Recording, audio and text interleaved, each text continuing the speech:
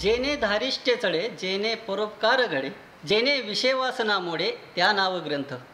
समर्थ रामदासांनी ग्रंथाची उपयुक्तता अशा पद्धतीने आपल्या रचनेतून सांगितलेली आहे. कुसुमाग्रज प्रतिष्ठानच्या वतीने गेल्या सहा वर्षापासून ग्रंथ तुमच्या दारी हा एक अतिशय सुत्य उपक्रम राबवला जात आहे.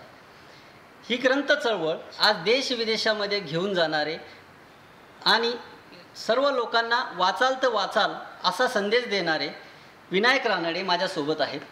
विनायक रानडेंनी ही ग्रंथ चळवळ आज पुढे ने नेलेली आहे आणि आज तिचा मोठा वृक्ष झालेला आहे. रानडेजी काय सांगाल या उपक्रमाबाबत? आपण ही उपक्रम कधी सुरू केला आणि आज तो कुठपर्यंत जाऊन पोहोचलेला आहे?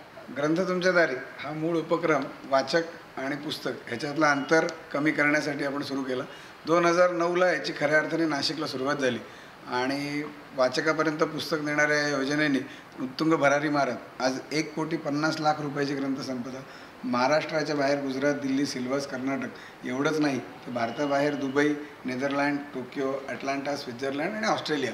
म्हणजे इथून पुढे मराठी माणूस जिथे कुठे भूतलावर असेल मराठी वाचकाला मराठी पुस्तक त्याच्या दारापर्यंत नेणं म्हणून आपण ग्रंथ तुमच्या दारी. वाढदिवसाला प्रत्येक मित्राने एका पुस्तकाचे पैसे देणगी देत आपण या योजनेला सुरुवात केली आणि दीड कोटी रुपये हे निधी पण गोळा केला आणि दीड कोटीचे ग्रंथ आज आपण मराठी पुस्तकं मराठी वाचकांपर्यंत नेऊ शकलो असा हा ग्रंथ तुमच्या दारी उपक्रम.